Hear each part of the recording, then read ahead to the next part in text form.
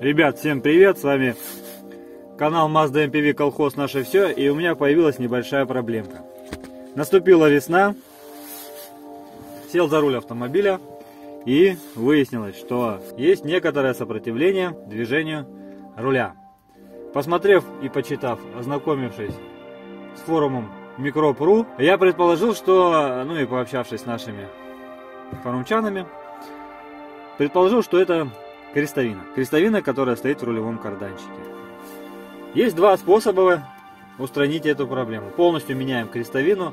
Она подходит от 626 Мазды и от нашего автомобиля, ну а также от Жигулей. От классики. Стоит это дело а, где-то от полутора тысяч минимум. Сама полностью в сборе а, весь кардан, карданчик от полутора до двух с половиной тысяч. Но есть другой способ. Это замена самой крестовины в этом рулевом вале. Вот так выглядит эта крестовина. Я взял вот такую крестовину GMB ST1639. Размер ее 1605 на 3905. Кто знает и сидел на форумах и когда-либо сталкивался с такой проблемой, именно эта крестовинка туда подходит. Есть и российские аналоги, есть и зарубежные аналоги. Сейчас мы ее откроем и посмотрим, как она выглядит. Я рассчитывал на то, что она будет немного покрупнее, но на самом деле она оказывается вот такая вот маленькая. еще один нюанс состоит в том, что эта крестовина будет меняться во дворе на коленке, так сказать, без возможности замены на СТО. На СТО я ехать не хочу, возьму слишком дорого. Я свою машину делаю во дворе. Прошу меня простить и извинить, что это все будет делаться именно во дворе. Получится, не получится, мы с вами это посмотрим. Буду снимать на экшн камеру, потому что там очень сложно подлезть. А, два болта, которые имеют не очень нормальное расположение. Они расположены на карданном валу, получается противоположных друг другу и с очень маленькой шляпкой. Приходится туда очень сложно подлазить. Самая проблема, я думаю, будет в том, чтобы еще сам вал, этот вал оттуда снять. Следим за видео. Итак, ребят, вот он карданчик. Я его тут попытался смазать в свое время. Чтобы на пару дней, думаю, ну там расходится туда-сюда, мало ли. Но на нем была реально ржавчина. Вот он откручивается вот здесь. Получается, пыльник снимаем. Вот он, да? Вот он. Здесь очень короткая шляпка, черт побери. И вот здесь вот получается вторая. Вторая шляпка, он там чуть подальше, вот здесь вот. Вот здесь вот подальше вторая шляпка. Ну вот как до второй шляпки добраться, вот это вот, конечно, будет проблема. Смысл в том, что нужно будет каким-то образом нам его приподнять наверх. Саму рейку я трогать не хочу. Рейку тоже нужно, блядь, с умом здесь вот откручивать вот эту гайку. Вот эти вот две гайки, потом их приспускать, здесь миллион гаек откручивать саму всю систему. Посмотрим, как это все делается именно из-под машины. Итак, первый борт я открутил, болт открутил. Теперь нужно нам открутить второй болт. Повернул руль, если вы видите, вот он болт. Сейчас нужно каким-то образом до него добраться, до этого болта. Сейчас будем пытаться добираться. Сам карданчик этот каким-то образом нужно снять. Итак, болт я почти выкрутил.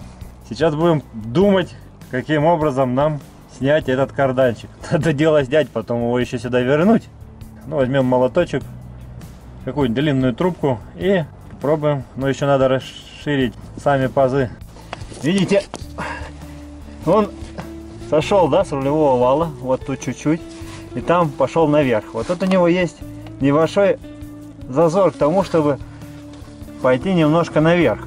Есть у меня вот такая монтировочка, вот ее просто разводим, вот так вот, да, и разводить в сторону, чтобы вал ушел наверх. Я надеюсь, что вал уйдет наверх, потому что я уже прилично развел и наверняка он пойдет хорошо наверх. Вот так вот раз. И просто раздвигаем его. Раздвигаем. Ну и ребята, берем и вот видите, сошел, сошел, ура!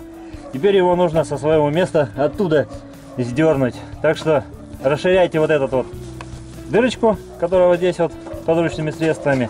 И потом берите и сгердивайте его. Все, нужно его обратно отсюда сбить. Я его снял, просто потянул вниз, и он снялся. Видите? Самое главное расширить вот эту вот дырочку. Вот этот вот. Просто заклинившая. Полностью причем. Заклинившая. Она вообще, вообще ей просто, она, она абсолютно не живая. О, елки-моталки.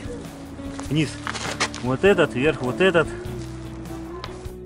Вот он злосчастный карданчик, который у меня сломался, который я два часа снимал со своего места. Не двигается он вообще. Короче, его клинануло так, что, ну, в общем, жопа ему. Я был прав, что купил крестовин.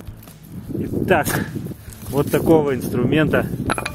Вот, снял я отсюда, выбил вот этот стаканчик. Взял, подхватил вот таким вот образом, прокручивая, приподнял и снял. Сейчас будем снимать все остальные. Вот здесь вот между бордюр придумал вот такое устройство, чтобы туда-сюда гонять. Аккуратненько, вместо тисков. Все нормально получается. Смотрим дальше. Снял второго солдатика. Вот он. Посмотрите, в каком он состоянии. Просто настолько убитый. Ну вот. Вытянул. Вот так берем, поддеваем и вытаскиваем аккуратненько. Вот она моя многострадальная убитая крестовина.